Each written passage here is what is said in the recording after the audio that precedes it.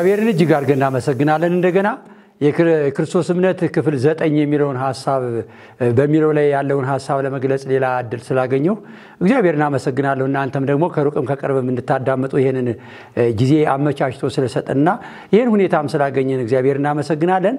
በክፍል ዘጠኝ ላይ የምናነሳው ነገር ስለ መንፈስ ቅዱስ ተስፋ ይሆናል። እና የመንፈስ ቅዱስ ተስፋ ለምን አስፈለገ? ወይም ደግሞ ወደ መንፈስ ቅዱስ ተስፋ እንዴት እንሸጋገራለን? የሚለውን ሀሳብ እንድናይ ያስፈልገናል። ምክንያቱም ቅድም ስናወራቸው ከዚህ በፊት ያወራናቸውን ክፍሎች ስንመለከት ካመን በኋላ ነው መንፈስ ቅዱስ የሚሰጠን። እርግጠኛ እምነቱ ሲረጋገጥልን ያ ነው የሚሰጠን። እና ስንሰጥ ስንሞት ነው መንፈስ የሚሰጠን። ምክንያቱም ክርስቶስ ኢየሱስ አባቱን አወቀ፣ በአባቱ ላይ መደገፉን በእምነት ገለጸ፣ አሳልፎ ራሱን መስጠቱን በጥምቀት ሲያረጋግጥ በማቴዎስ 3 17 ላይ ያኔ መንፈስ ቅዱስ በራሱ ላይ እንደ ርግብ አረፈ ብሎ እናገኛለን። ስለዚህ እኔና እናንተ እምነታችን እንዲህ ተጨምቆ እኛም ስለ እምነት ጉዳይ በጣም አስበን ተጠንቅቀን ተረድተን ስንጨርስ ያን አሳልፈን ራሳችን በሰጠን እጅ መንፈስ ቅዱስ ይሰጠናል እና እንዲህ ካልሆነ መንፈስ አናገኝም ወይ ብለን ልናስብ አይገባንም። ምክንያቱም ደቀ መዛሙርቱም ከዚህ ደረጃ ሳይደርሱ አንዳንድ እጅ የሚሰሩበት የመንፈስ አቅም እንደነበራቸው በስትንፋሽ ይሰጣቸዋል፣ እጅ በመጫን ይሰጣቸዋል እና ወደዚህ ራስ መሰጠት ራስን መስጠት ራስን አሳልፎ መስጠት እስከሚችሉ ድረስ ትንሽ ትንሽ ነገር የሚሰራበት ነገር እንደነበረ እናያለን እና በዚያ ልክ ደግሞ የመንፈስ ቅዱስን መውረድ ከዚህ በፊት ምንም ነገር የሰራነው ነገር ሁሉ መንፈስ አልነበረበትም እንዳንልም ይረዳናል። የሆነ ሆኖ ግን ትልቁን የመንፈስ ቅዱስ ተስፋ ለመቀበል የቻሉበትን መነሻ ሀሳብ ግን እንድናይ እንገደዳለን። ይህ ሀሳብ የሚነሳው በዮሐንስ ወንጌል ምዕራፍ 13 ቁጥር 31 ላይ ነው እና 31 ላይ የሚናገረው ክርስቶስ ኢየሱስ እሱ ሊያርግ እንደሆነ ሊሄድ እንደሆነ የሚናገርበትን ነገር እናገኛለን። እሱ ሊያርግ ሊሄድ እንደሆነ አባቱ እንደከበረ ስለ እርሱ እግዚአብሔር እንደከበረ አክብሮ ያከብረኛል አክብሬዋለሁ ብሎ ሲናገር እናገኛለን። ከወጣም በኋላ ኢየሱስ እንዲህ አለ፣ አሁን የሰው ልጅ ከበረ፣ እግዚአብሔርም ስለ እርሱ ከበረ። እግዚአብሔርም ስለ እርሱ የከበረ ከሆነ እግዚአብሔር ደግሞ እርሱን ያከብረዋል ያከብረዋል ያከብረዋል ወዲያውም ያከብረዋል ብሎ ሲናገር እናያለን እና ይህንን ሀሳብ ሲነጋገር እየገለጸላቸው ምሳሌያዊ ነገሩን እየገለጸላቸው እየገለጸላቸው ሲሄድ እዚያ በኋላ አንድ ነገር ተናገራቸው። ልሄድ ነው ወደምሄድበትም አታውቁም የሚል ሀሳብ ሲናገራቸው እናገኛለን። እንግዲህ ክርስቶስ ኢየሱስ ስራውን ሰርቶ እንደጨረሰ የጸለየው ጸሎት እንደነበረ በዮሐንስ 17 እናገኛለን። ቁጥር አምስት ላይ አባቴ ሆይ ስራዬን ሰርቼ ጨርሻለሁና በአንተ ዘንድ የነበረኝን ክብር አንተው በራስ ዘንድ አክብረኝ ብሎ የጠየቀውን የጸሎት ሀሳብ እናገኛለን። ይህ ሀሳብ ደግሞ በመንፈስ ሲረጋገጥ ክርስቶስ ኢየሱስ አባቴ ከብሮ ጨርሷል አባቴ ከብሮ ሲጨርስ እኔ እንግዲህ ከብራለሁ። ስለዚህ አባቴ በእኔ ከከበረ እኔም በአባቴ ከብራለሁ ብሎ የሚናገሩን ሀሳብ እናያለን። እንግዲህ ከከበረ በኋላ በዚህ ቦታ መቀመጥ አያስፈልገው። ምክንያቱም የከበረውን ኢየሱስ በመለኮትነት ሙሉ የሆነውን ኢየሱስ ሁል ጊዜ ስናየው ሲገስጹት፣ ሲሰድቡት፣ ሲያንገላቱት፣ ለየታች ሲናገሩት እንደነበረው አይነት መናገር መናገር አይቻልም። ያለ ሰው ልጆች ጥንቃቄ ሲባል ክርስቶስ ኢየሱስ በዚህ ምድር ሆኖ ሙሉ ክብሩን ይዞ በዚህ ምድር መቀመጥ የለበትም። አባቱ ከብሮ እንደጨረሰ ልጁ የሚከብርበት ጊዜ እንደደረሰ ከተረጋገጠ በኋላ ነገሮች ተጨርሰው ክርስቶስ ኢየሱስ የክብር ቦታውን መያዝ እንዳለበት ይታወቃል። ስለዚህ የክብር ቦታውን ለመያዝ እኔ ከከበርኩ በክብር ቦታዬ ነው የምቀመጥ። በዚህ በተዋረደውና ዝቅ ባለው በኃጢአት በተበላሸው ዓለም ላይ እና በኃጢአት በተበከለው ሕዝብ መካከል መቀመጥ አልችልም፣ አይገባኝም የሚል ሀሳብ እናያለን። እውነት ነው። ይህንንም ደግሞ በማቴዎስ ወንጌል ምዕራፍ 16 መጨረሻ አካባቢ ስናገር የክርስቶስ ኢየሱስን የክብር ማንነት ለማየት ሰው እንደሚያስቸግረው ለዮሐንስ፣ ለያዕቆብ፣ ለጴጥሮስ እንዳሳያቸው እናያለን። ስለዚህ እንደዚህ አይነቱን የሰውን አንገት የሚያስደፋ ዝቅ የሚያሰኝ በፊቱ ለመቆም የሚያስፈራ የሚያስቸግረውን የከበረ ማንነቱን ይዞ በዚህ ምድር መቀመጥ አያስፈልገውም። ስለዚህ እንዲህ ተናገራቸው፣ እኔ ከብሬ ጨርሻለሁና ወደ ላይ አርጋለሁ ሄዳለሁ አላቸው። እንግዲህ ይህ ውዝግብ ያመጣው ነገር አለ። እነሱ መሄዱን ተቃወሙት። መሄድ የለብህም ምክንያቱም ክርስቶስ ኢየሱስ ከእነርሱ ጋር ሆኖ በሰራቸው ስራዎች ላይ እነሱ ጥሩ ጥቅም አግኝተዋል። ግድድሮሽ አለ። የግድድሮሾች ሁሉ መፍትሄ ኢየሱስ ነው። ነገሮች አሉ፣ የሚመጡ ስራዎች አሉ። እነሱ የሚያቅታቸውን ስራ እሱ ሲሰራቸው ያውቃሉ። ረሃብ አለ፣ ችግር አለ፣ ወይም ደግሞ ብርድ አለ፣ ወይም ደግሞ ወጀብ አለ፣ ማዕበል አለ። እነዚህ ሁሉ ሲደርሱባቸው እነሱ በፍርሃት ወደ እርሱ እየሮጡ ወይም ወደ እርሱ እየተመለከቱ እርሱ እየቀሰቀሱ የችግር መፍትሄ ሲያገኙ ቆይተዋል። ከዚያም ባሻገር ደግሞ ካስተማራቸው የሲሚናር ትምህርት የተነሳ እነሱ በተኩላ መካከል እንደሚኖሩ ነግሯቸዋል። በተኩላ መካከል ሲኖሩ ደግሞ እንደ በግ መኖር እንዳለባቸው ነግሯቸዋል። እነዚህ ሁሉ ጉዳዮች ያለ ክርስቶስ ጣልቃ ገብነትና አብሮነት የማይወጡ እንደሆነ ያውቃሉ። እንግዲህ ከዚህ የተነሳ ነው ክርስቶስ ኢየሱስ እሄዳለሁ ሲል መሄድ የለብም ወይ ደግሞ እንዳትሄድ ብለው የሚለምኑት እና ይህንን ሀሳብ ሲናገራቸው እሱም ደግሞ የተለያዩ ነገሮች ሲናገራቸው እናገኛለን። የተለያዩ ነገሮች የተለያዩ ነገሮች የሚናገርበት የፍላጎታቸውን ምጥቀት ማወቅ ብቻ ሳይሆን ወደሚፈለገው ተስፋ ለማሸጋገር ፈልጎ ነው። አንድ ጊዜ እንዲህ አላቸው በዮሐንስ ወንጌል ምዕራፍ 14 ይህንን ሀሳብ ሲናገራቸው ነው የበለጠውን ሀሳብ ሲናገሩ የምናገኘው። ዮሐንስ 14 ላይ ልባችሁ አይታወክ፣ በእግዚአብሔር እመኑ፣ በእኔም ደግሞ እመኑ። በአባቴ ቤት ብዙ መኖሪያ አለ አለ እንዲህስ ባይሆን ኖሮ ባልኋችሁ ነበር። ስፍራ አዘጋጅላችሁ ዘንድ እሄዳለሁ። ሄጀም ስፍራ ባዘጋጀው ጊዜ እኔ ወዳለሁበት ባለሁበት እናንተም ደግሞ እንድትሆኑ ሁለተኛ እመጣለሁ፣ እኔ ወዳለሁበትም ወስዳችኋለሁ።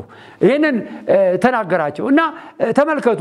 አንዳንድ ጊዜ ከእግዚአብሔር ጋር አብሮነት ብንለምድና ይህንን ጣም ብንቀምስ እንደ ደቀ መዛሙርቱ ይሄ ቃል በራሱ እንደገና ሌላ ጥያቄ የሚፈጥር ነው። እነዚህ ሰዎች ክርስቶስ ኢየሱስ እሄዳለሁ፣ የተስተካከለ ነገር አለ እኔ የምሄድበት ቦታ ሁላችን የሚይዝ ነው፣ ደስ የሚያሰኝ ነው፣ መጥቼ ወስዳችኋለሁ ሲላቸው፣ ነገር ግን ክርስቶስ ኢየሱስ ሄዶ ከዚያ ቦታ ደርሶ የሚመለስበት ጊዜ ምንም እርዝማኔ የሚኑረው እጥረትም ይኑረው፣ ነገር ግን ቅጽበታዊ ክፍተት ካለ ክርስቶስ ኢየሱስ ከእነሱ ከተለየ ችግር እንደሚገጥማቸው ያውቃሉ። በዚህ ምክንያት አይሆንም አሉ። ተናገሩት። የሚያሳያቸውን ነገር ፈለጉ። ክርስቶስ ኢየሱስ እያከለ እያከለ ይናገራቸዋል። ምክንያቱም ክርስቶስ ኢየሱስ አንድ ነገር አለ።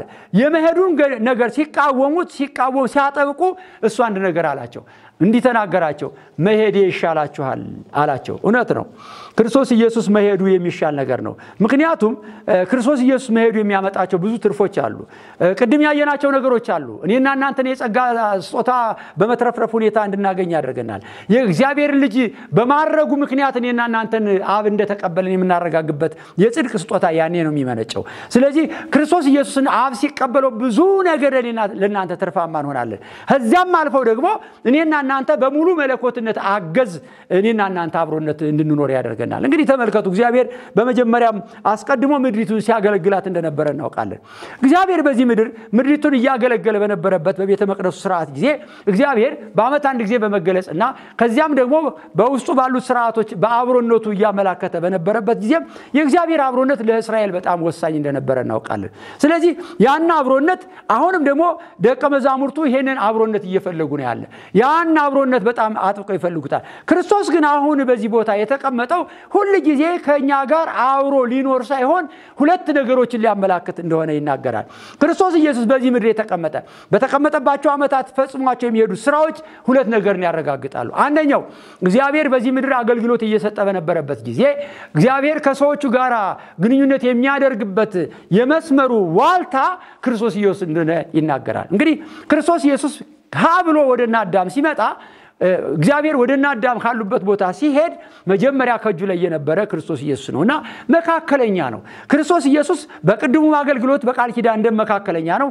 በአሁኑም አገልግሎት በመንፈስና በእግዚአብሔርና በእኛ መካከል በሚሰራው ስራ መንፈስ ቅዱስ በእኛ መካከል በሚሰራው ስራ መካከለኛ ሆኖ የሚያገለግለው እሱ ነው። ስለዚህ እንግዲህ እየተናገራችሁ ያለ መሄድ ይሻላችኋል፣ ብሄድ ይሻላችኋል፣ እኔ ስሄድ አጽናኙ ይመጣላችኋል አላቸው። እንግዲህ ይህ ተስፋ ልብ የሚያሞቅ ተስፋ ነው። የሆነ ሆኖ ግን በዚህ ተስፋ መካከል ግን የሚፈተኑበት ሁኔታ እንደሚኖር መጽሐፍ ቅዱስ ይነግረናል። ምክንያቱም አንዳንዶች የሚገጥማቸው ችግር ወደዚህ ተስፋ እንዳያዩ የሚያደርጋቸው ሁኔታ እንዳለ እናያለን። እንግዲህ ከዚህ ንጽጽሮች ሀሳብ እየተናገረ ከመጣበት ሀሳብ ስንመለከት እየተናገረ ቅድም ያየነውን ከዚህ በፊት ያየነውን የዮሐንስ 15ንም የእምነትን ነገር በደንብ አድርጎ አጥብቆ ትስስራቸው ምን ያህል እንደሚሆን አጥብቆ ከነገራቸው በኋላ አንድ ነገር ተናገራቸው። እንግዲህ እኔ እሄዳለሁ እምነት ትመጣላችሁ በምስጢር እየነገርኳችሁ ቆይቻለሁ ይለናል። በ16ኛውም ስንሄድ በምስጢር እየነገርኳችሁ ቆይቻለሁ። እንግዲህ ግን በምስጢር የማልናገርበት በምሳሌ የማልናገርበት ጊዜ መጥቷል። እንግዲህ በምሳሌ የማልናገርበት ጊዜ ስለመጣ የእውነት ነው የምነግራችሁ። ይሄዳለሁ፣ መንፈስ ቅዱስ ይመጣላቸዋል። መንፈስ ቅዱስን ጠብቁ እያለ ሲናገራቸው እነሱ አንድ ነገር ሲናገሩ እናገኛለን። ያም የተናገሩት ነገር እንደገና ጥያቄን የሚፈጥር እንደነበረ መጽሐፍ ቅዱስ ይነግረናል። ክርስቶስ ኢየሱስ ይሄን ሲነግራቸው ይሄዳለሁ በሄድኩ ጊዜ ግን አጽናኙ ይመጣላችኋል። ያ አጽናኙ ግን ወደ እውነት ሁሉ ይመራችኋል፣ ዓለማዊ ባህሪያችሁን ይዘልፍላችኋለኝ፣ እናንተ ድብቅ የሆነባችሁን ሁሉ ሚስጥር ይገልጽላችኋለኝ፣ የተረሳውን ነገር ሁሉ ያስታውሳችኋል። ይህንን አይነት ስራ እንደሚሰራላቸው የመንፈስ ቅዱስን አስተዋጽኦ ሲነግራቸው እንዲህ ተናገሩ። አውቀንሃል አሁን አምነንሃል ብለው ይናገራሉ። እንግዲህ በሰላሳ ሁለት በሰላሳ አንደኛው ሀሳብ ላይ በሰላሳ ሁለተኛው ወደ ሰላሳ አንደኛው ሳንሄድ በዚሁ ማቴዎስ በዮሐንስ 16 ይህን ሀሳብ ይናገራል። ኢየሱስም እንዲህ አላቸው መልሶ እውነት ታምናላችሁን ብሎ ተናገራቸው። እንግዲህ ሄድ ችግር የለም ነው ያሉት። ችግር የለም አውቀንሃል፣ አምነንሃል መሄድ ችግር የለም። ብዙ ተነጋገርነ። ሚስጥራዊ የሆነ ምሳሌያዊ አነጋገር ነግረህናል። አሁን ደግሞ ወደ መጨረሻ በግልጽ ነግረህናል። ያን ሁሉ ገብቶናል፣ ሰምተንሃል። እንግዲህ ብትሄድም ችግር የለ አውቀንሃል፣ አምነንሃል ብለው በሰላሳኛው ቁጥር ጀምሮ ስታነቡ ታገኛላችሁ። ክርስቶስ ኢየሱስ ደቀ መዛሙርቱ እነማን እንደሆኑ ያውቃቸዋል። እነሱ ደግሞ እነማንነታቸውን ለክርስቶስ እየነገሩት ነው። ከዚህ ከቅድሙ ፍርሃታቸው ተነስተው ብዙ ነገር እየነገሩት እየመጡ ቢሆኑም ክርስቶስ ኢየሱስ ግን እነማን እንደሆኑ እያወቃቸው ሊያስረዳቸውና በሚነ ነገራቸው ተስፋ ላይ አጽንኦት እንዲኖራቸው እያጠበቀ እየነገራቸው እንደነበረ ይናገራል። ስለዚህ ክርስቶስ ኢየሱስ እንዲህ አላቸው፣ እውነት ታምናላችሁን ብሎ ጠየቃቸው በሰላሳ አንደኛው ቁጥር ላይ ምክንያቱም ይላል እናንተ አምነናል አውቀንሃል አምነንሃል የምትሉት ያ እምነት አይደለም። ምክንያቱም እሱ ያውቃቸዋል። ቀጥሎ የተናገረው ነገር አለ። አሁን እንግዲህ አምነናል ያላችሁት ከዚህ ጥቂት ቆየት ብሎ እኔ ወደ ሰማይ ከማድረግ ቀድሞ በሚፈጸም ድራማ እናንተ እኔን ትታችሁ ተበትናችሁ ወደ የነበራችሁበት ትሄዳላችሁ ብሎ ሲናገራቸው እናገኛለን።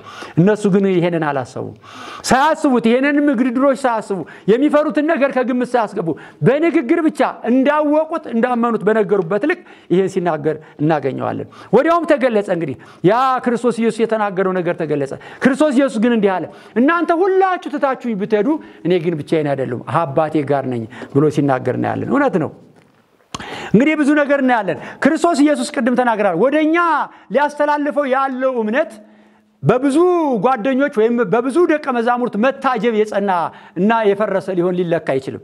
ብዙ ደቀ መዛሙርት፣ ብዙ ጓደኞቹ፣ ብዙ የሚያጽናኑት አብረውት ያሉት እንኳን ጥለውት ቢሄዱ ይሄ እምነት በብቸኝነት ጠብቆ የሚያዝ ነገር እንደሆነ ያውቀዋል። ስለዚህ እሱ ራሱ በደቀ መዛሙርቱ ላይ አይደለም ራሱን ያሳረፈ፣ በጎን ባሉት ጓደኞቹ ላይ አይደለም ራሱን ያሳረፈ።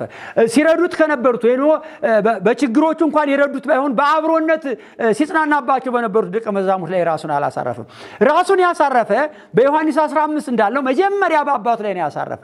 ያም ደግሞ ዓላማውን ያውቃል። ለብዙ ሰዎች ሕይወትና ትርፍ እንዲሆንላቸውና ለአባቱ ክብር እንደሆነ ያውቃል። ስለዚህ እንዲህ አለ፣ እናንተ እናንተ ትታችሁኝ ተበትናችሁ እንኳን ብትሄዱ እኔ ግን ብቻዬን አይደለሁም ብቻዬን አይደለሁም ሲላቸው እናገኛለን። ስለዚህ ብቻውን አለመሆኑ ከአባቱ ጋር መሆኑ ያ እምነት እየተፈተነ እንደነበረ የሚያረጋግጥልን ነገር እንዳለ እናያለን። እንግዲህ ተመልከቱ፣ ክርስቶስ ኢየሱስ የመንፈስ ቅዱስን ተስፋ እንዲህ ከተናገረ በኋላ ሌላኛውን ሀሳብ ደግሞ ከዚሁ ከ16ኛው ምዕራፍ እናገኛለን። ክርስቶስ ኢየሱስ ሰዎች መንፈስ ቅዱስ የሚያገኙ እንዴት ብለው ነው ብለን ልናስብ ያስፈልገናል። መንፈስ ቅዱስ የሚያገኙ እንዴት ብለው ነው?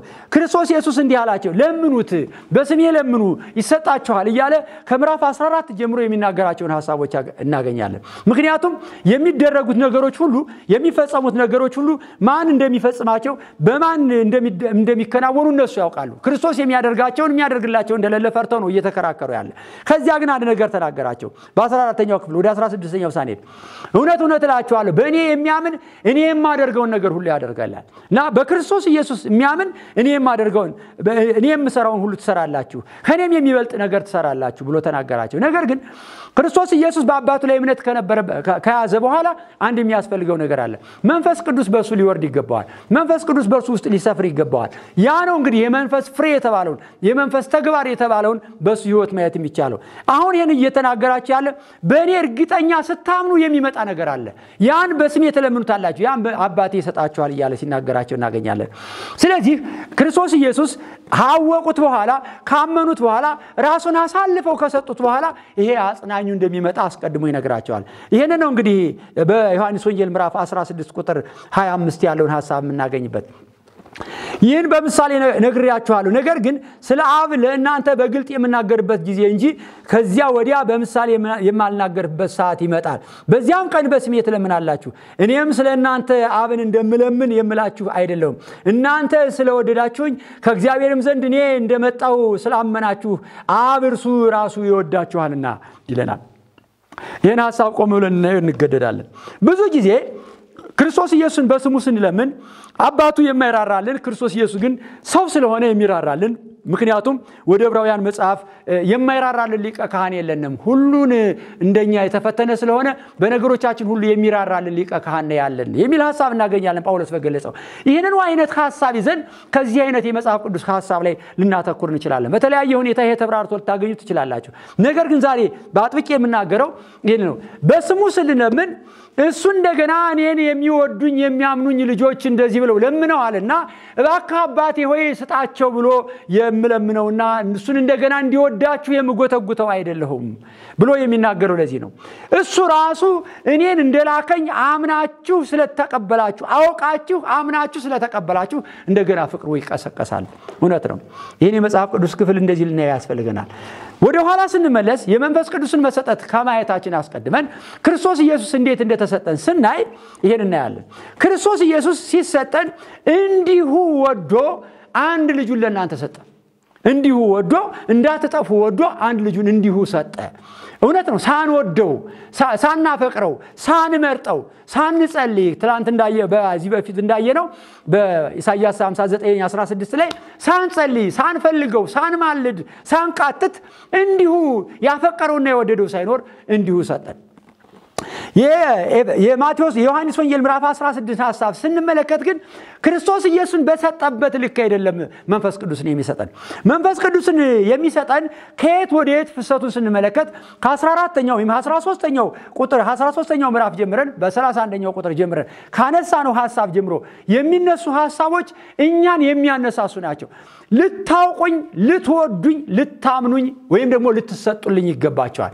ይሄን ስትገቡ ያ አጽናኝ ለእናንተ ይሰጣችኋል የሚል ሀሳብ አለው። ይሄ ደግሞ እኔና እናንተ በእውነት ስናውቀው በእውነት ስንወደው በእውነትም ስናምነው ላመንነው ራሳችን ስንሰጥ ያኔ እግዚአብሔር እንደገና ሌላ ፍቅር ይቀሰቅስበታል።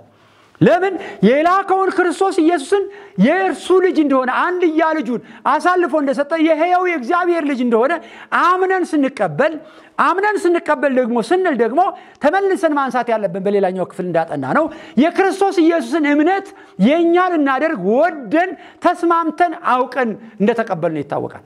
እንግዲህ ይሄ ነው ትስስር አለው። እግዚአብሔር ልጁን በእምነት ጸጋ ሞልቶ ሲያንቀሳቀስ እንደነበረ ይሄንንም ደግሞ ታምኖበት እስከ ፍጹም ሙላት ድረስ ሂዶበት በእሳት ሁሉ ተፈትኖ አልፎበት የተቀመጠውን እምነት ወደ እኛ ካመጣ በኋላ ለዚህ እምነት ራሳችን አሳልፈን ስንሰጥ ለዚህ እምነት ራሳችን ሙተን አሳልፈን ስንሰጥ ያኔ እግዚአብሔር እንደገና ፍቅሩ ይቀሰቀሳል። ልጁን በሰጠበት ልክ አይደለም። እኔ የላኩትን ልጄን ወደዱት፣ ተቀበሉት ብሎ ይናገራል። እንግዲህ ይሄን ነው ወደ ዮሐንስ ወንጌል ምዕራፍ 1 ቁጥር 12 11 ጀምራችሁ ስታነቡ ያን ነው ሌሎች ሰዎች አይሁዶች ወይም ደግሞ ወገኖቹ ያልተቀበሉትን ሌሎች ሰዎች ተቀበሉት፣ ለተቀበሉት ግን ስልጣን ሰጣቸው ይላል። ለተቀበሉት ግን ስልጣን ሰጣቸው። ምን ማለት የእግዚአብሔር ልጆች ተብለው ይጠሩ ዘንድ የእግዚአብሔር ልጆች ተብለው ይጠሩ ዘንድ እንግዲህ ከእግዚአብሔር ዘንድ የተወለደ ሁሉ ከመንፈስ የተወለደ ነው። ከመንፈስ የተወለደ ነው። መጽሐፍ ቅዱሳችን ደግሞ ደግሞ ይናገራል። እንግዲህ የእግዚአብሔር ልጅነት ከምናገኝ የልጅነት መንፈስ እንቀበል ነው። የባርነት መንፈስ ከኛ ተወግዶ የልጅነት መንፈስ እንቀበል ነው። እንግዲህ የልጅነትን መንፈስ ለመቀበል ግን ከኋላ ያየናቸው ነገሮች ሁሉ ተካተው ወደኛ መምጣት እንዳለባቸው መጽሐፍ ቅዱስ ይነግረናል። ተመልከቱ መጽሐፍ ቅዱሳችን እንደምንመለከተው ይህን ነው እየተናገረ ያለ። እኔ በምሳሌ አልነግራችሁም። እዚህ በኋላ በምሳሌ የምናገርበት ጊዜ አቁሟል። አሁን ግን በእውነት እነግራችኋለሁ። ይሄንን ነው የምላችሁ። በስሜ ለምናችሁ ከአብ የምትቀበሉት ነገር አለ። እውነት ነው። እኛ በዚህ ምድር ብዙ ጊዜ በጸሎታችን የምንለምናቸው ነገሮች ብዙ ነገሮች አሉ። ልናደርግ የምንፈልግበት ነገር አለ። እውነት ነው። ወደኋላ ከመለመናችን አስቀድሞ በምንለምናቸው ዙሪያዎች ስናይ እግዚአብሔር በልጁ በኩል የምንለምነውን ሁሉ ያደርግልናል ወይ? የምንለምነውን ሁሉ በልጁ ስም ብንለምን ይሰጠናል ወይ ብለን ብናይ እና የምናደርገው ለማድረግ የምንነሳሳበትን ነገር ሁሉ እንድናደርግ ኃይል ይሰጠናል ወይ ብለን ብንል ወደ ክርስቶስ ኢየሱስ ተመልሰን የክርስቶስ ኢየሱስ እምነት ከአባቱ ጋር ተቆራኝቶ የነበረበት እምነት እና የተሰጠው መንፈስ ለሚያደርገው ስራ እምነቱ ታይቶ የሚያደርገው ለማን ክብር እንደሚያደርገው ታይቶ ለማን ግባት እንደሚሆን ለማን ትርፍ እንደሚሆን ታይቶ ነው መንፈስ የተሰጠው። ስለዚህ ክርስቶስ ኢየሱስ ያደረገውን ነገር ሁሉ ለማድረግ ስንነሳ ክርስቶስ ኢየሱስ የነበረውን እምነት ልንቀበል ይገባናል። ያን እምነት ስንቀበል ደግሞ በክርስቶስ ኢየሱስ የነበረ ኃይል ለእኛም ሊሰጠን ይገባል። ያ ኃይል እንግዲህ በዚህ ተፈትሾ ነው የምንቀበለው። እግዚአብሔርን ስናውቀው ልጁን ክርስቶስ ኢየሱስን ስናውቀው የሕይወት ጅማሮ እንደሆነ ቅድም ተናግረናል። እዚህ በፊት ተናግሬያለሁ። ያን ደግሞ ያወቅነውን እውነት ስናምነው፣ ስንወደው፣ ስንመርጠው ያም ደግሞ ሌላ ሕይወት እንደሆነ እናውቃለን። እንግዲህ ከዚህ ተሻግረን ደግሞ ያን ላመንበት ራሳችን አሳልፈን ስንሰጥ ይሄ ደግሞ ሌላ ሕይወት እንደሆነ እናውቃለን። ያ ደግሞ እንደ መጠመቅም ልናየው እንችላለን። ስንሞትለት ያ ሌላ ሕይወት ነው። ይሄ ሕይወት ያ የመጨረሻ ሕይወት የሚያመጣው ትርፍ የመንፈስ ቅዱስ ኃይል ነው። ያ የመንፈስ ቅዱስ ኃይል የሚሰጠን ደግሞ እግዚአብሔርን ከማደሪያው እንደገና አስደስተን ልጁን አምነን አምነን ስንቀበል መጽሐፍ ቅዱሳችን እንደተናገረው እሱን ነው። ይህ ነው ልጄ የምወደው በእርሱ ደስታዬን የሚያይበት እግዚአብሔር የሚደሰትበት እምነት ዕብራውያን መጽሐፍ ምዕራፍ 11 ቁጥር 6 እንዳየን። ስለዚህ ያን እምነት ስንቀበል እግዚአብሔርን የሚያስደስት እምነት ነው። እግዚአብሔርን መደሰት ከጀመረ በምንቀበለው እምነት እግዚአብሔር መደሰት ከጀመረ መንፈስ ቅዱስን ይሰጠናል። ያኔ በኃይል እንንቀሳቀሳለን። ያኔ በኃይል እንወጣለን። ያኔ በኃይል የምንሰራውን ስራ ሁሉ እናደርጋለን። ያኔ ደቀ መዛሙርት የፈሩት ነገር ሁሉ ይጠናቀቃል። እንመልከት ወደ ኋላ መለስ ብለን ደቀ መዛሙርት እንግዲህ የሚደረገውን ነገር ሁሉ ለማድረግ ችግር እንደነበረባቸው አስበው የእሱን መሄድ ሲቃወሙ እንደነበረ እናያለን። እውነት ነው። ይህን እንደማያደርጉትም አውቀዋል። አምነናል ብለው በቆሙበት ልክም እንኳን እንደማያምኑ እግዚአብሔር በልጁ በኩል ገለጸላቸው እና ልጁ ሲናገራቸው አለማመናቸው እንደገና ተገነዘቡ። ከዚህ በኋላ ግን ድርጊቱ በተፈጸመ ጊዜ ያ ሲናገሩት የነበረው ነገር ሁሉ በዚያ የመከራ ሜዳ ተፈተነ።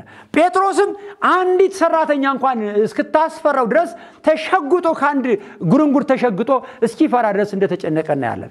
ያ እምነት ፍጹም አልነበረም ማለት ነው። ያ ኃይል በሱ ውስጥ አልነበረም ማለት ነው። እንግዲህ ይሄንን ስንመለከት ይሄን ተስፋ ሲመጣ የሚመጣውን ለውጥ ደግሞ እንመልከት። ይሄ ተስፋ ሲፈጸም ተመልሰው እንደገና ወደ እግዚአብሔር ሲቀርቡ ከእግዚአብሔር ጋር ግንኙነት ሲያደርጉ እግዚአብሔርን በማወቃቸው ላይ እንደገና ምርምር ሲያደርጉ እንደገና በተሰጣቸው ተስፋ ላይ ምርምር ሲያደርጉ ያን የተሰጣቸውን ተስፋ ሲያምኑ የክርስቶስ ኢየሱስ እምነት ወደ እነሱ እንዲሆን ፍላጎታቸው ሲሆን በዚህ ጉዳይም እንደገና ለጸሎት ራሳቸውን ገዝተው ለተወሰነ ጊዜ ሲቀመጡ ከእግዚአብሔር ጋር እርቅ አደረጉ። እርቅ አደረጉና እውቀታቸው ተመረመረ። ያም ደግሞ እምነታቸውም ተመረመረ፣ መሰጠታቸው ሁሉ ተመረመረ። ያኔ መንፈስ ቅዱስ ወረደላቸው ይለናል በሐዋርያ ሥራ ምዕራፍ ሁለት ላይ። መንፈስ ቅዱስ ከወረደላቸው በኋላ እንግዲህ የተሰራውን ስራ እንመልከት። ብዙ ስራዎች ታያላችሁ። ረድ ሳይሆን ወይም ሰራተኛ ሳትሆን ሊቁ ካህኑ ወይም ደግሞ በአይሁድ ዘንድ ትልቅ የተባለው ሰው እንኳን ከፊታቸው ቢቆም አሊያም ደግሞ ያኔ ፈርተው ተሸጉጠው ለማየት እንኳን ተሰቀው የነበሩትን ሰው አንተ እኮ ሰቀልኸው ያን መሲህ ሳታውቅ እያሉ ይሰብኩ ጀመረ። ሳታውቅ ማን እንደሆነ ሳታውቅ። እኛ አሁን የቆምንለትን አሁን የምንሰብክለትን አሁን የምንመሰክርለትን ክርስቶስ ኢየሱስን ሳታውቅ አንተ ሰቀልኸው፣ እግዚአብሔር ግን አንተ የሰቀልኸውን ከሞት አስነሳው፣ እሱም ታላቅና መሲህ አድርጎ ጌታ አድርጎ በቀኙ ሾመው አስቀመጠው እያሉ እንደገና መስበክ ጀመሩ። እንግዲህ ተመልከቱ።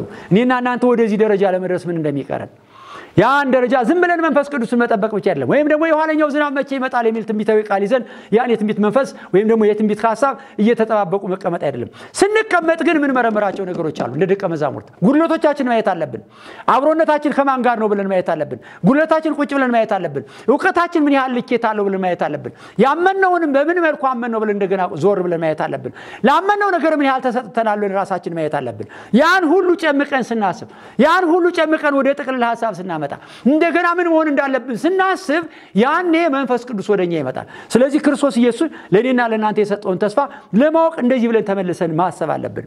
ዛሬ እስቲ ዞር እንበል። ደቀ መዛሙርቶችን ወክለን እንቁም። ክርስቶስ ኢየሱስ ከኛ ጋር ነው ወይ?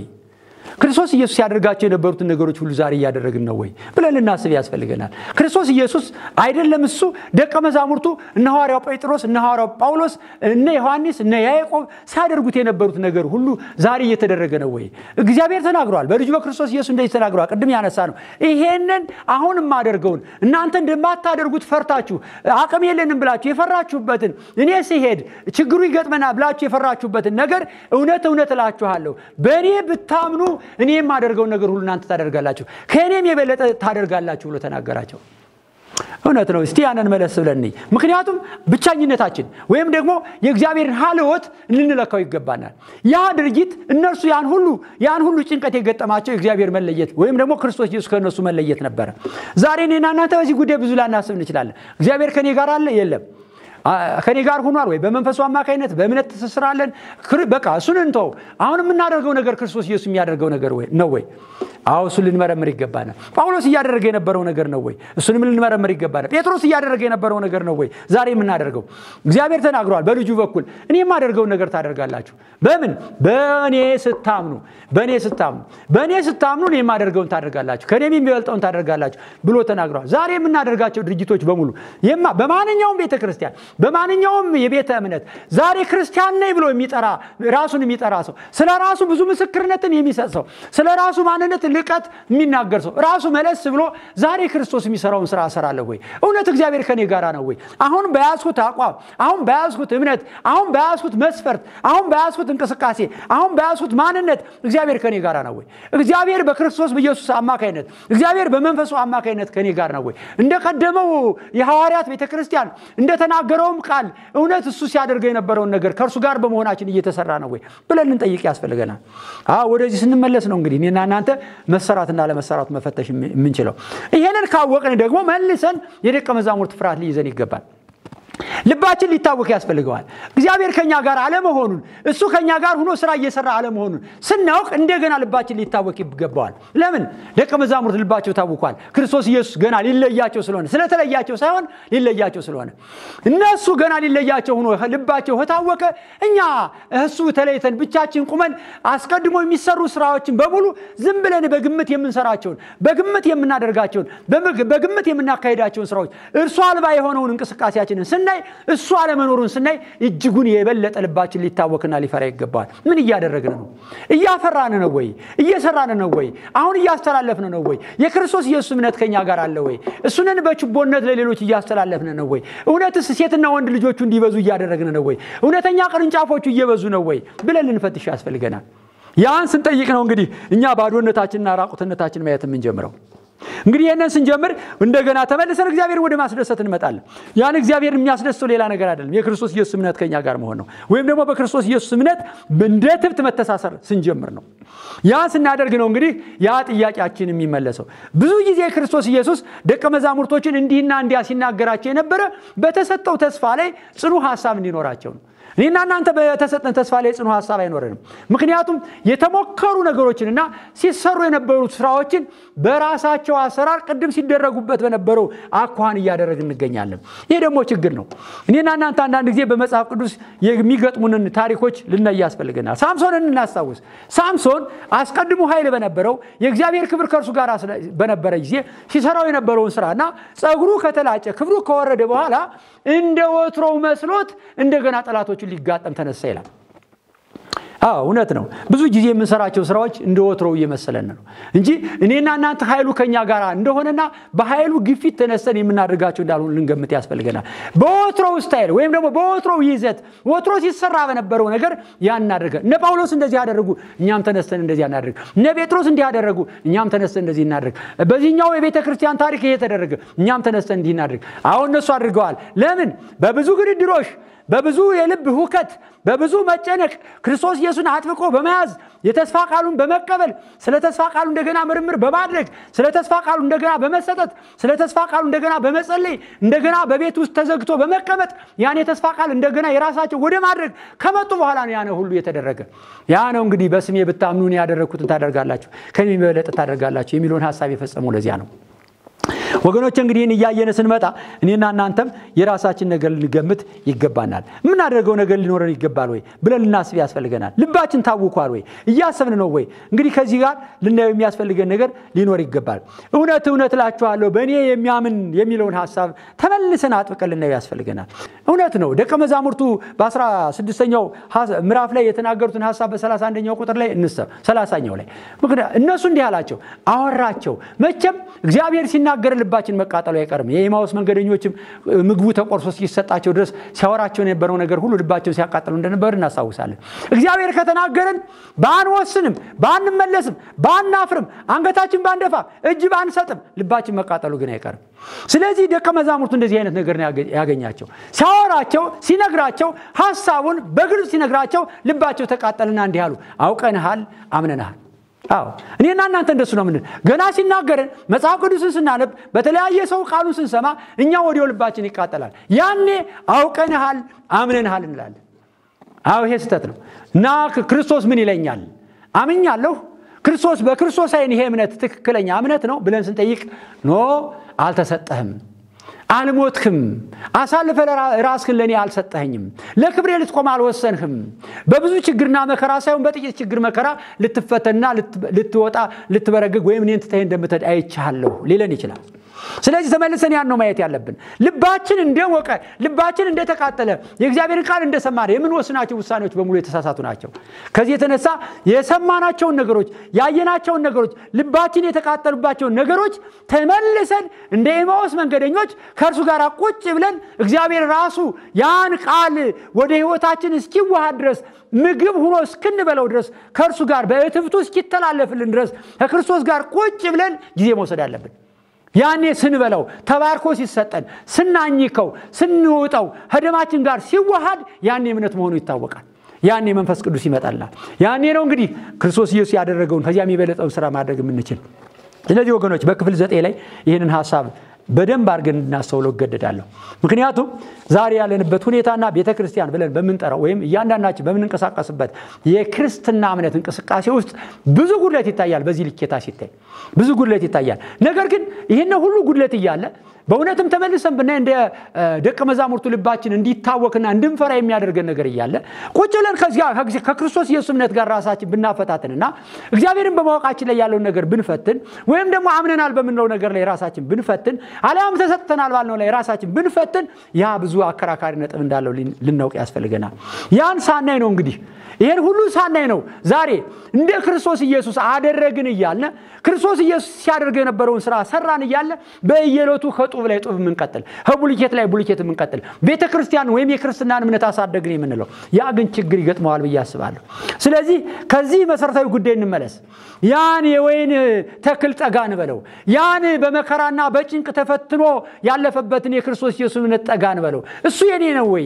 እሱን አግኝቼዋለሁ ወይ? ይሄ እምነት ነው ወይ ብለን ራሱን ልንጠይቀው ያስፈልገናል።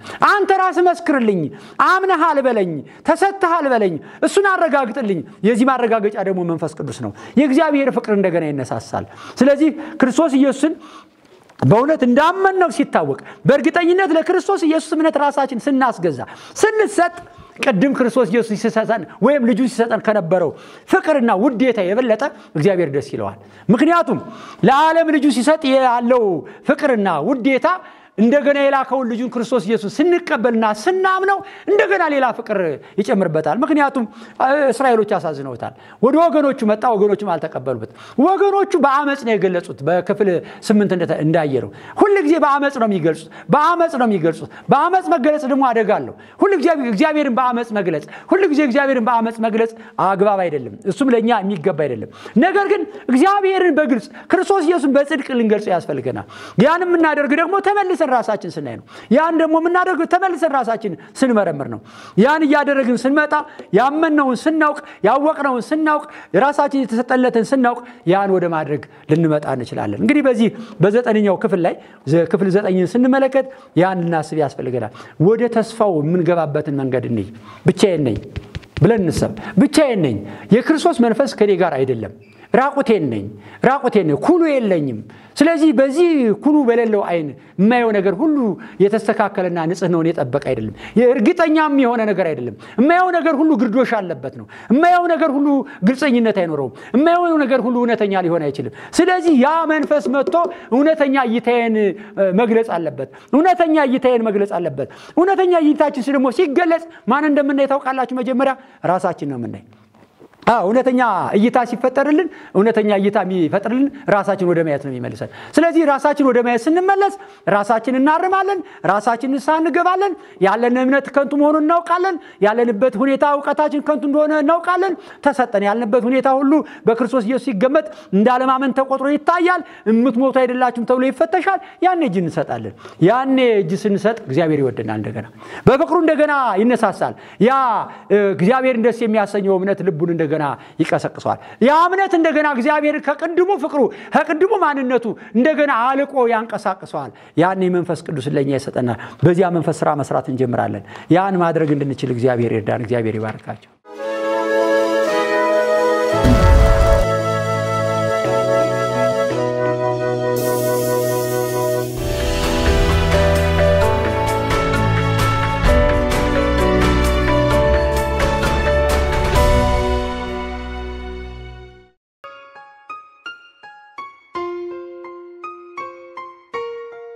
ከእግዚአብሔር አባትነት የሚፈልቁ በረከቶች የመልካም ወላጅን አስፈላጊነትና ጥቅም በጥሩ ቤተሰብ መካከል ካደጉት ይልቅ ይህንን በረከት ያጡት የበለጠ እንደሚረዱ ታስባለሁ። እስቲ ላፍታ ቆም እንበልና ከምድራዊ አባቶቻችን የተነሣ የሆኑልንን በረከቶች እንቁጠራቸው። አንዳንዶቹን ከሁሉም ሰዎች ጋር የምንጋራቸው ሲሆኑ ምናልባት ደግሞ አንዳንዶቹ ከሌሎች ለየት ብለው እኛ ብቻ ያገኘናቸው ይሆናሉ። አሊያም ደግሞ ኧረ ጽድቁ ቀርቶብኝ በወጉ በኮነነኝ፣ እኔስ የምቈጥረው አንድም ባርኮት የለኝ፣ እንዲያው በአባቴ ብዙ ተበድያለሁ የምንልም አንጠፋም። የአባታችን ትዝታ ጥቁር ነጥብ ጥሎብን ያለፈ ብንኖር በዚህ ዙሪያ ወደ ኋላ የምንለው ነገር ቢኖርም አሁን ግን ምድራዊ አባቶቻችንን እንርሳቸውና ትኩረታችንን ወደ ሰማያዊ አባታችን እናድርግ። ለመሆኑ የእግዚአብሔር አባትነት ያመጣልን ባርኮቶች ምን ምንድን ናቸው? አንደኛ በስሙ መጠራት። እግዚአብሔርን አባት ብለን ለመጥራትና እኛም የእርሱ ልጆች ተብለን ለመጠራት መቻላችን በራሱ ትልቅ በረከት ነው። በአብዛኛው እንደ ተራ የምናያቸው ነገሮች ቆም ብለን ብናጤናቸው የተረሱ የምስጋና ርዕሶች ሆነው እናገኛቸዋለን። ሆኖም ግን በእጅ ያለ ወርቅ እንደ መዳብ ይቆጠራል እንደሚባለው በብዙዎቻችን ልምምድ መንጸባረቁ የማይካድ ሐቅ ነው። በዘመናችን ባሉ ብዙ ባህሎችም ሆነ በመጽሐፍ ቅዱስ ታሪክ ባህሎች ዘንድ አባቱ የማይታወቅ ልጅ ወይም ዲቃላ በጥሩ ዐይን አይታይም። ዘዳግም 23 2 ምናልባት ከስማችን ቀጥሎ የምንጽፈው የአባት ስም ስላለን አመስግነን አናውቅ ይሆናል። የሚገርመው ግን እኛ እንደ ቀላል የምንቆጥረው የአባት ስም እንደ ሰማይ የራቃቸው ቁጥራቸው በቀላል አይገመትም። አንድ በሴት አያቷ ያደገችና ከወላጆቿ ጋር ቅርርብ ያልነበራት እህት ስትመሰክር እንዲህ አለች። በሕፃንነቴ ልጆች የአባታቸውን እጅ ይዘው ሲሄዱ አይቼ ውስጤ በጣም ሲያዝን ወደ ሰማይ ዐይኖቼን አንስቼ እግዚአብሔር ሆይ አንተ አባቴ ነህ እል ነበር። ለዝች እህት የእግዚአብሔር አባትነት ምንኛ መጽናናት ሰጥቷት ይሆን? ሁለተኛው ልዩ ፍቅር ነው። አልፎ አልፎ የምንሰማቸው ወላጆች በልጆቻቸው ላይ የሚፈጽሙት ርኅራሄ የለሽ ድርጊት መኖሩ የማይካድ ቢሆንም በአብዛኛው ውስጥ ያለው ተፈጥሮአዊ ግፊት ግን ወላጆችን ከልጆቻቸው ጋር በፍቅር ገመድ የሚያስተሳሰር ነው። ለብዙዎች አረመኔ የሆኑ አንጀተ ደንዳና ሰዎች ለአብራክ ክፋዮቻቸው ግን ያው አንጀት ይንሰፈሰፍላቸዋል። ጌታችን ከዚህ ትዝብት በመነሳት የሚቀጥለውን ሐሳብ እንዲህ ብሎ የገለጸው ከእናንተ መካከል ልጁ ዳቦ ቢለምነው ድንጋይ የሚሰጥ አባት አለን? ወይስ ዓሣ ቢለምነው እባብ የሚሰጥ ይኖራልን? ታዲያስ እናንተ ክፎች ሳላችሁ ለልጆቻችሁ መልካም ስጦታን ካወቃችሁ የሰማዩ አባታችሁ ለሚለምኑት እንዴት አብልጦ አይሰጣቸውምን? ይላቸዋል። በማቴዎስ ወንጌል ምዕራፍ 7 ከቁጥር 9 እስከ 11 ድረስ እጅግ አስገራሚ የሆነ ድንቅ መሥዋዕትነት ለልጆቻቸው ሲሉ ከፍለው ፍቅራቸው እየተደነቀ የሚኖር ባለታሪኮችም አሉ። የእግዚአብሔር የአባትነት ፍቅር ግን ከሁሉ እጅግ ይልቃል። የእርሱ ፍቅር በብዙ መልኩ ልዩና ፍጹም ነው። ልዩ የሚያደርገው አንድ ሁለቱን ቀጥለን እንጥቀሳቸው። የእግዚአብሔር አባታዊ ፍቅር ሁልጊዜና በሁሉ ስፍራ የሚገኝ ነው። ብዙ ጊዜ የወላጆቻችንን ፍቅር እኛም እንደተጠማን እነርሱም ሊሰጡን እንደናፈቁ በጊዜና በቦታ ተወስነን ሳናገኛቸው እንቀራለን። የእግዚአብሔር የአባታችን ፍቅር ግን በስፍራ የማይገደብ ዓመታት የማያበርዱት ፍቅር ነው። በየትኛውም ዘመንና ስፍራ አባታችን አይምሮን በሚያልፈው ፍቅሩ ከእኛ ጋር ነው። የእግዚአብሔር አባታዊ ፍቅር ከራስ ወዳድነት ፈጽሞ የጸዳ ነው። አንድ ዕድሜው ገፍቶ የነበረ ሰው ግን ያላገባና ያልወለደ ሰው ሲያጋጥመን አንዳንዶቻችን እንደምንሰነዝረው ቃል በብዙዎች ልብ ውስጥ የተሰወረውን ገልጦ የሚያሳይ ይመስለናል። ምናልባት አግባ እንጂ ምን ነው አግባ እንጂ ያለ ጧሪና ቀባሪ ቀረህ እኮ እንላለን። እርግጥ ነው ለፍተን ካሳደግናቸው ልጆቻችን ወሮታን መጠበቃችን በራሱ ችግር ላይኖረው ይችላል። ነገር ግን ምንም ሳይሰጡን ወዲያው ዐመፀኞችና ዓላማ ቢስ ቢሆኑብን ፍቅራችን ሳይቀዘቅዝ ይቀጥል ይሆንን? መልሱን ለወላጆች እንተወዋለን። እግዚአብሔር አባታችን ግን በመጀመሪያ ደረጃ የሚጦረውም ሆነ የሚቀብረው ልጅ አያስፈልገውም። እርሱ አይሸመግልም፣ አይሞትምም። እርሱ ለእኛ ሁለንተናችንም ቢሆን በምላሹ ግን እርሱ ከእኛ የሚፈልገው አንድም ድጋፍ የለም። ሆኖም ግን ምክንያት አልባ በሆነው ፍቅሩ ይወደናል። አንድ ነገር የሚያደርግልን ኋላ የእጄን ከእጄ አገኘኋለሁ ብሎ አይደለም። ቅዱስ ቃሉ ይህንን እውነት ሲያስተምረን እንዲህ ይላል፣ እርሱ ፀሐዩን ለክፎችና ለደጎች ያወጣል፣ ዝናቡንም በኀጢአተኞችና ለጻድቃን ያዘንባል። እንዴት ያለ ድንቅ ፍቅር ነው! የራሱን ጥቅም የማይፈልግ አድሎ የሌለበት መስተንግዶ። የብዙ ወላጆች ፍቅር በአድሎ የተበላሸ በመሆኑ ያለ ተጨማሪ ማስረጃ የግል ተሞክሯችንን ሊመሰክርልን ይችላል። በመጽሐፍ ቅዱስ ታሪካቸው የተመዘገበልን ይስሐቅና ርብቃ፣ ይስሐቅ ከኤሳው እንዲሁም ርብቃ ለያዕቆብ፣ ከዚያም ያዕቆብ ደግሞ በተራው ከልጆቹ ሁሉ ከራሔል ለወለዳቸው ልጆች አድሏዊ ፍቅር ነበራቸው። ይህ አድሎ በቤተሰብ ውስጥ ፈጥሮ የነበረውን ቀውስ አንብቦ መረዳትም ይቻላል። በእግዚአብሔር የአባትነት ፍቅር ውስጥ ግን አድሎ ስፍራ የለውም።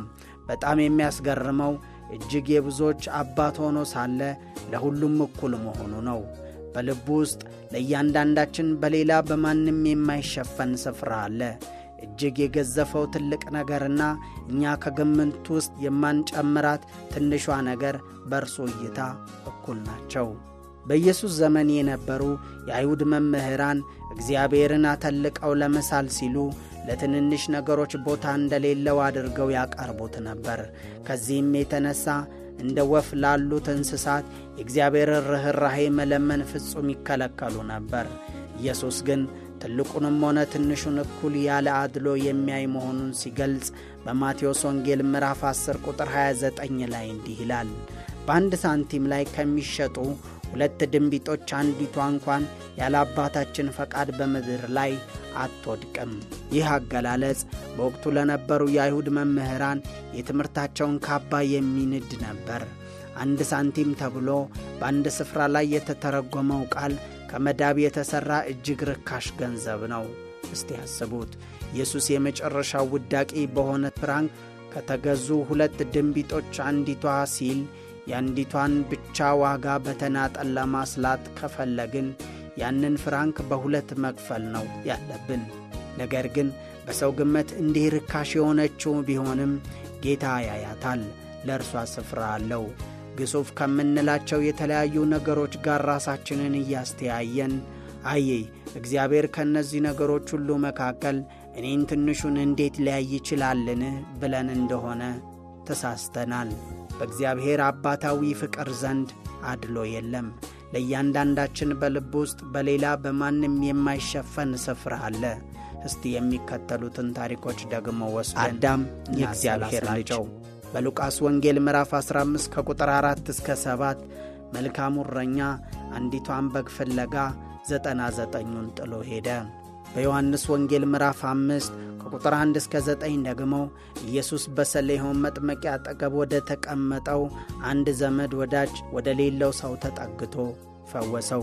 በሉቃስ ወንጌል ምዕራፍ 7 ከቁጥር 11 እስከ 17 ደግሞ ኢየሱስ አንድ ልጇ የሞተባትን መበለት ልጅ ከቃሬዛው ሕያው አድርጎ በማስነሳት አስደሰታት።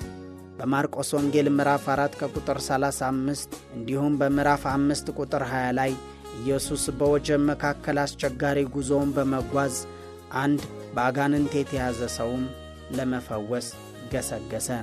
ማርቆስ ወንጌል ምዕራፍ 5 ቁጥር 25 እስከ 34 ከብዙ የመጋፋት ንክኪ ውስጥ አንዲቷን የእምነት ንክኪ ጌታችን አየ። ዮሐንስ ወንጌል ምዕራፍ 4 ቁጥር 7 ደግሞ ለአንዲት ሴት ሲል ወደ ሰማርያ ወጣ። እነዚህና እጅግ የበዙ ሌሎች ታሪኮችን አባታችን እግዚአብሔር በሰው የተገፉትን እርሱ እንደዚያ እንደማያደርግ አድሎ እንደማያውቀው ያሳዩናል።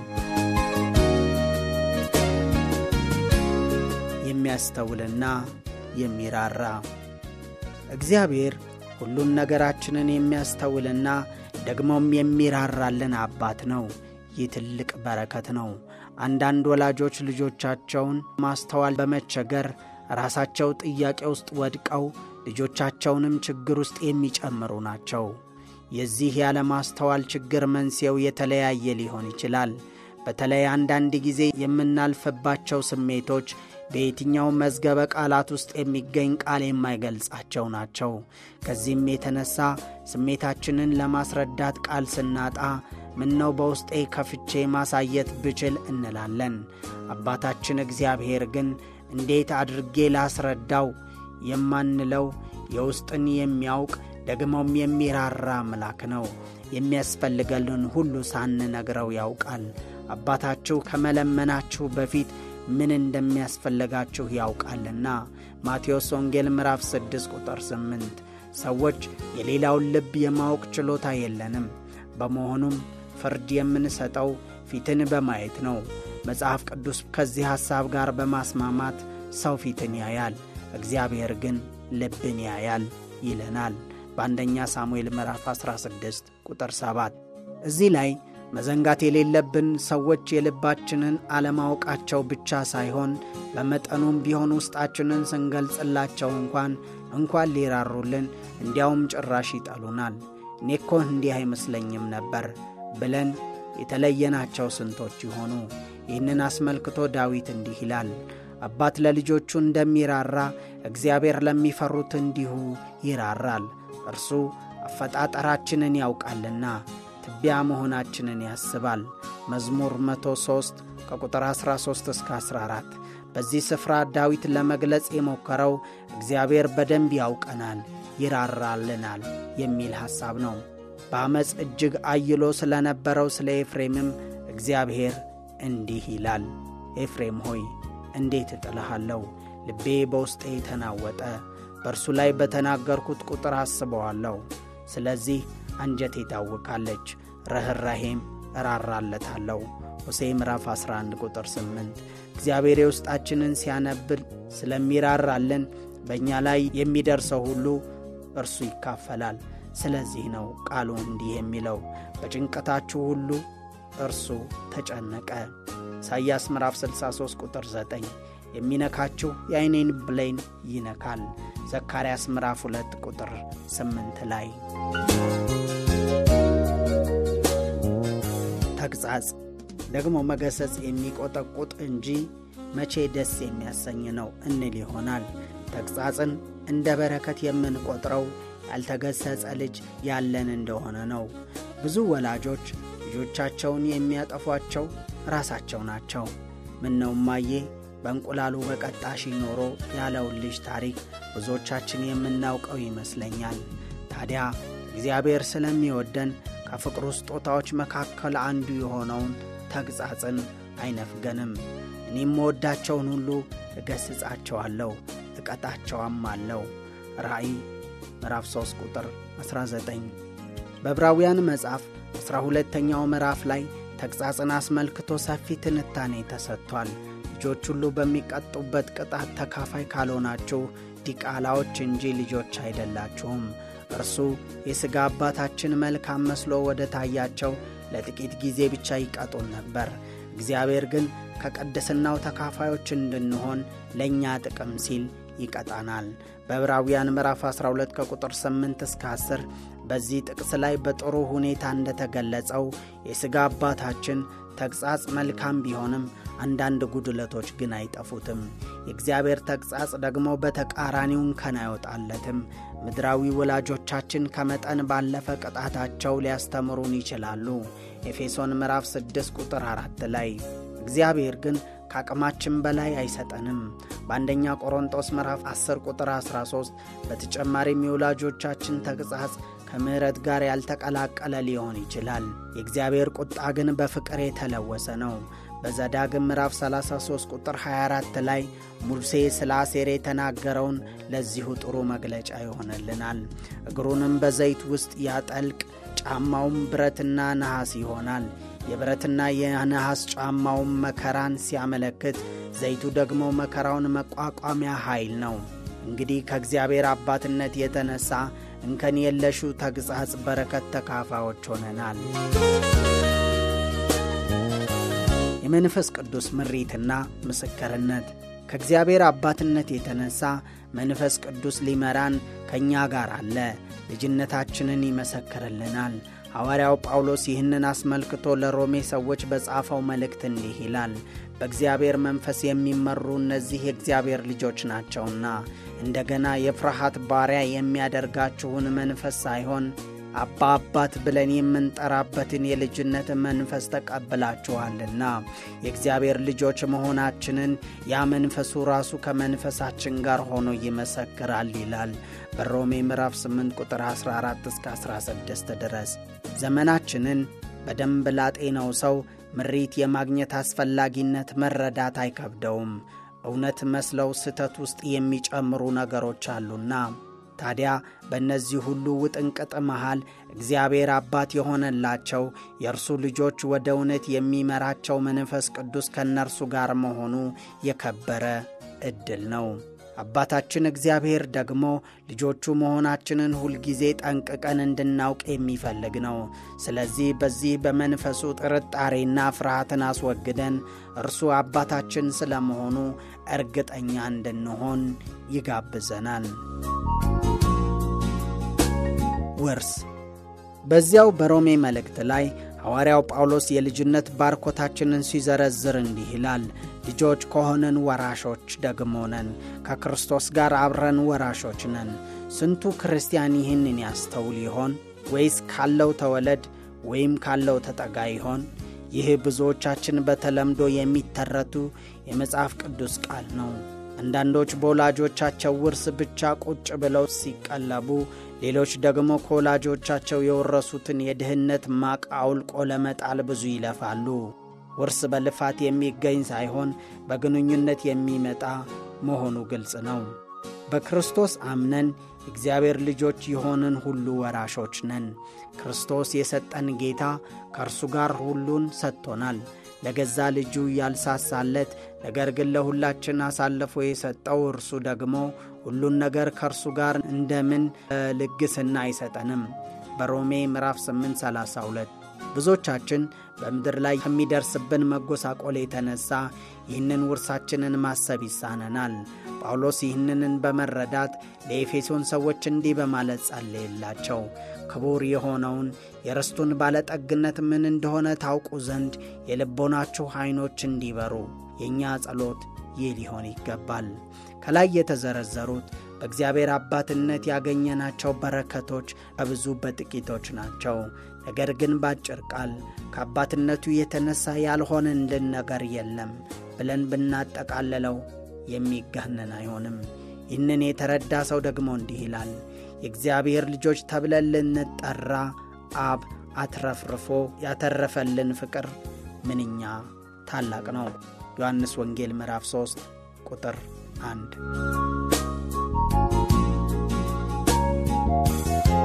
በጸላዩ ላይ የሚያመጣው ለውጥ ከላይ እንዳየነው እውነተኛ ጸሎት ሰማይን ወደ ምድር የሚያወርድ ሳይሆን ምድርን ወደ ሰማይ ከፍ የሚያደርግ ነው። ጌታችን ያስተማረን ይህንን የእውነተኛ ጸሎት ሞዴል አንድ በአንድ እየመረመርን ስንሄድ ጸሎቱ በጸላዩ ላይ የሚያመጣውን ለውጥ በበለጠ ለመረዳት ከዚህ ሐሳብ ጋር እየተስማማን እንመጣለን።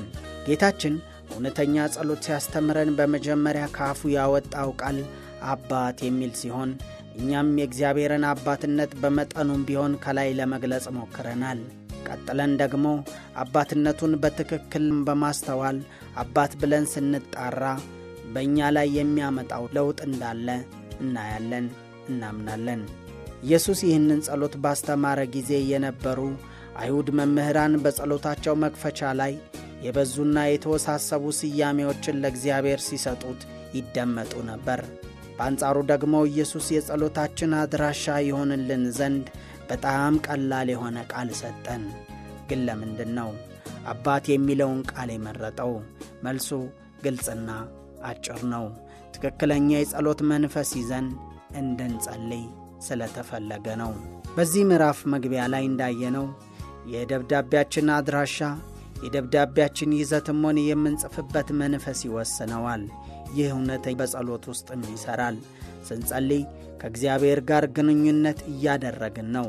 ይህ በጸሎት የምናደርገው ግንኙነት ደግሞ ስለ እግዚአብሔር ማንነት ባለን መረዳት ላይ የተመሠረተ ነው። እስቲ ለራሳችን ሐቀኞች ሆነን ይህንን ጥያቄ ለመመለስ እንሞክር። ለመሆኑ ለጸሎት ተንበርክከን ዐይናችንን ስንጨፍን በፊታችን ድቅን የሚለው የእግዚአብሔር ስዕል ምን ይመስላል? አንዳንዶቻችን ስንጸልይ የምናሰማው ከብኤል ነቢያቶች ያልተናነሰ ጩኸት መንገድ የሄደ ወይም የተነሳ እግዚአብሔርን እያየን የምንጸልይ ይመስላል። አንዳንዶቻችን የሚታየን ደግሞ አንድ ስለኛ ግድ የማይለው ቸልተኛ እግዚአብሔር ነው። ከዚህም የተነሳ የእግዚአብሔርን ትኩረት ለመሳብ ራሳችንን በኃይል እናጎሳቁላለን። አንዳንዶቻችን የሚታየን ደግሞ ስህተታችንን አንድ በአንድ በመመዝገብ ቁጣውን ሲያገነፍልብን የተዘጋጀ አስፈሪ እግዚአብሔር እንደሆነ ይታየናል። እኛም ወደ እርሱ ፊት የሚያቀርበንን አማላች ፍለጋ እንደክማለን። አሊያም አንጀቱን ካራራው ብለን ከንፈራችንን እየመጠጥን እንባችንን እናፈሳለን። በዚህ ሁሉ የተሳሳተ የእግዚአብሔር ስዕሎች ምን አይነት የተሳሳተ የጸሎት መንፈስ ውስጥ እንደሚጨምሩን የተረዳን ይመስለኛል። ነገር ግን ከላይ በተረዳነው መሠረት የአባትነት ስዕሉ እየታየን ወደ እግዚአብሔር የምንጸልይ ከሆነ በተስተካከለ የጸሎት ጅረት ውስጥ መፍሰስ እንችላለን። ትክክለኛ የሆነ የጸሎትን መንፈስ ደግሞ የሚከተሉትን ዋና ዋና ነገሮች ያካትታል። አንዱ ድፍረት። የአሕዛብ አማልክት የማይቀርቡ ቁጡና አስፈሪ ናቸው።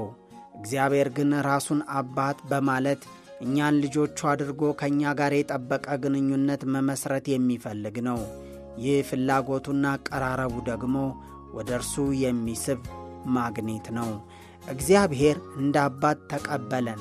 ራሳችንን እንደ ልጅ ከቆጠርን ወደ እርሱ ለመጠጋት ቅንጣት ታክል ስጋት አይገባንም። ማንንም ለመቅረብ የሚፈሩ ሕፃናት ወላጆቻቸውን ለመቅረብ ያላቸው ድፍረት ግን የሚያስገርም ነው። እኛም ወደ አባታችን ስንቀርብ እንዴት መቅረብ እንዳለብን መጽሐፍ ቅዱስ ሲገልጽ እንዲህ ይለናል። በእርሱና በእርሱ ላይ ባለን እምነት አማካኝነት በነጻነትና በልበ ሙሉነት ወደ እግዚአብሔር መቅረብ እንችላለን ይላል ኤፌሶን ምዕራፍ 3 ቁጥር 12። ሌላው ደግሞ ግልጽነት ነው። ይህንን ቃል በሁለት መልኩ ልናየው እንችላለን።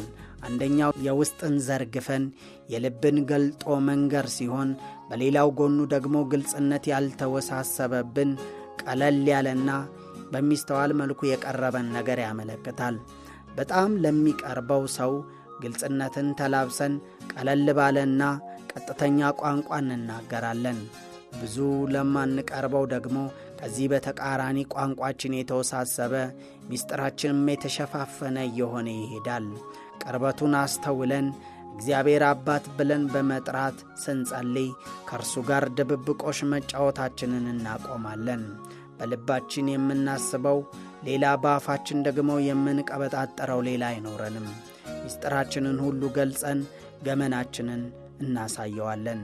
ምንም ሳይከብደን የሆነውን ሁሉ ፍርጥርጥ አድርገን እንገልጽለታለን። ይህንን ስናደርግ ደግሞ ጌታ ስለሚያስተውለን አይከብደንም። ሌላው ደግሞ እግዚአብሔርን እንደ አባት አቅርበን ስናነጋግረው ንግግራችን ቀላልና ግልጽ እንጂ የተወሳሰበና ዙሪያ ጥምጥም አይሆንም። አንዳንዶች ሲጸልዩ ያልሆነ የድምፅ ቅላጼን እንዲሁም ሀያሲያን የሚጠቀሙባቸውን ለየት ያሉ ቃላትን ፈልገው በመደርደር ጸሎታቸውን ሊያካብዱት ይሞክራሉ። ይህ ግን በጸሎት የሚያናግሩት አባታቸው መሆኑን ካለማስተዋል የመነጨ ነው። እግዚአብሔር የውስጣችንን ከመለመናችን በፊት የሚያስፈልገንን የሚያውቅ አባት ነው። ማቴዎስ ወንጌል ምዕራፍ 6 ቁጥር 8 ላይ። ሌላው ስለ ደስታ ነው። ለልጆች በጣም የሚያስደስታቸው ነገር ቢኖር ከወላጆቻቸው ጋር አብሮ መሆን ነው። ያንን ጊዜ ይናፍቁታል። ከወላጆቹ ጋር ጤናማ ግንኙነት ያለው ማንኛውም ልጅ ከእነርሱ ጋር ቀርቦ መነጋገር እንደ ሸክም ወይም ግዳጅ ሊቆጥረው አይችልም። እስቲ ደግሞ ወደ ራሳችን እንመልከት። ስንቶቻችን ነን ለጸሎት ስንንበረከት ልባችንን በሐሴት የሚሞላ ጸሎታችንን ከጨረስን በኋላ ተመልሰን በጸሎት መስመር ውስጥ እስክንገባ እጅግ የምንናፍቅ?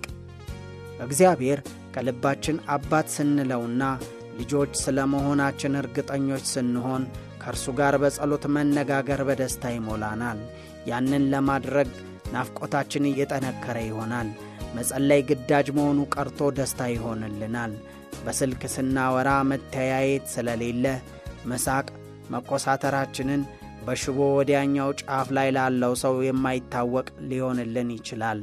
ነገር ግን የድምፃችን ቅላጼ ማዕዘናችንን ወይም መደሰታችንን ይገልጻል። በጸሎት ቀጭን ሽቦ ከእግዚአብሔር ጋር ስንገናኝስ በሌላኛው ጫፍ ላይ ላለው አባታችን የደስታችን የድምፃችን ቅላጼ ውስጥ ተደባልቆ ወደ ጆሮ ይደርስ ይሆን?